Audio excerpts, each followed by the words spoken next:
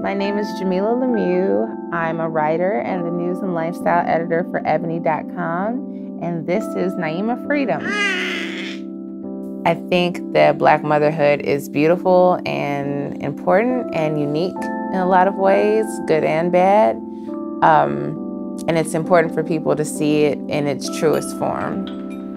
I mean, I think negativity is a really overused word, but I feel that a lot of the stories about about Black motherhood are kind of just steeped in some sort of like inherent deficiency. I think it's really important that the narrative around Black motherhood is changed. Um, we are the most important figures in the Black community, but we are also the most maligned.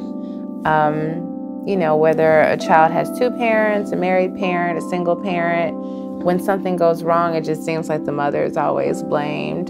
You know, they're talking about statistics or what we don't have or what we won't have. And I think to just simply look at black mothers and their children and to talk about how beautiful they are and how cool their stories are is something that I've never seen before.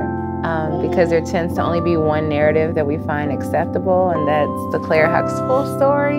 And that's just simply not how all of us live and mother. Um, I thought it was very cool that you were inclusive of queer women, um, single mothers, you know, people who've been with their husband for many years. Uh, anytime we can see positive images of black motherhood, I think it's a great thing.